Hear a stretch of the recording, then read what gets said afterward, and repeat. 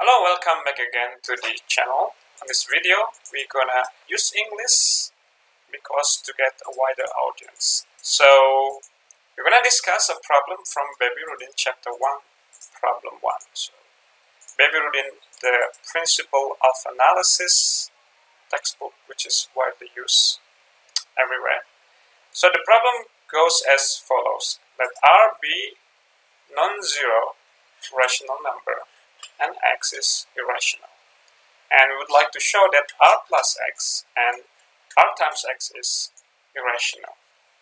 Um, we call that the way we define irrational number is irrational is a, is a negation being rational. So that irrational number has no particular shape. Because of that, then we will argue this problem by using contradiction. So we start with uh, assumption. What if? What can? What can be wrong if r plus x or r times x is rational? Is rational, right? Okay. So let's get started.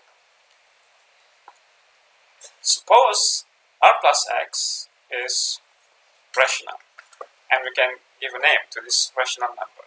Say that this r plus x is equal to q.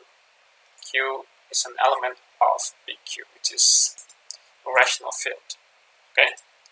And then, from this equation, we're gonna add to the left of each of this side, we're gonna add minus r to the left of the left hand side and to the left of the right hand side. Remember that minus r is the inverse of r under addition, right? So, because of that, when we add negative r minus r plus r, we get 0. So the left hand side will turn into 0 plus x, which is just x.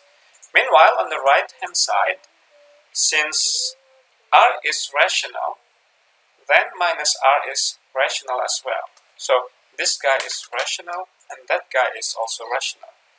Since Q is a field and it is closed under addition, then this minus R plus Q, which is which can be written as Q minus R, is an element of Q as well. But that's a contradiction. Contradict which facts? Remember that at the beginning we say that X is irrational. Meanwhile, here we have that X is in Q. So X is rational. So that's a contradiction. So then, our supposition that r plus x is rational cannot be true. So it must be false. Therefore, r plus x have to be irrational. Right? Now you may try to show in a similar manner that rx must be irrational as well. So you may try to do it by yourself first and you can pause the video for a moment now. Please give it a try.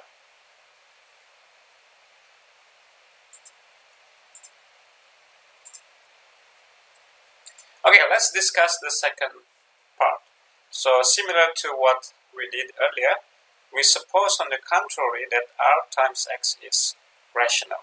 And we give a name to this r times x, say that r times x is equal to s, which is a rational number. Right? Now, Recall that our R is not equal to 0 and R is in a rational number field. Since it is a field, then every non-zero element has an inverse. And the inverse of R is usually being written as 1 over R in Rudin's book, right? So, since R is non-zero, then there exists this 1 over R. This 1 over R is a special element related to r, which is the inverse under multiplication, the inverse of r under multiplication, which means that if we multiply this r with 1 over r, either to the left or to the right, we will get 1, the identity element of the multiplication. Right? So, now similar as to what we did, we're going to multiply the left hand side and the right hand side of this equation by 1 over r. Right? multiply by 1 over r, and also the right hand side we multiply by 1 over r. Now since multiplication is associative, we can multiply 1 over r with 1 over r by r first. And what do we get? We get 1 here, right? But 1 times x is x. So the left hand side is equal to x. Meanwhile, the right hand side, since r is in q, which is a field, then 1 over r is in q as well. And s is in q because of this, right? And multiplication is close in any field. So therefore, this 1 over r times s is an element of q. So if we left, if we read from the left to the right, the left hand side is equal to x. Meanwhile, the right hand side is an element of q. Therefore, x in is in q. And that's a contradiction since x is irrational. So therefore, the supposition that Rx is rational must be false. Therefore, Rx have to be irrational. Right? So that's all. Thank you for watching. See you again in the next video. Bye bye.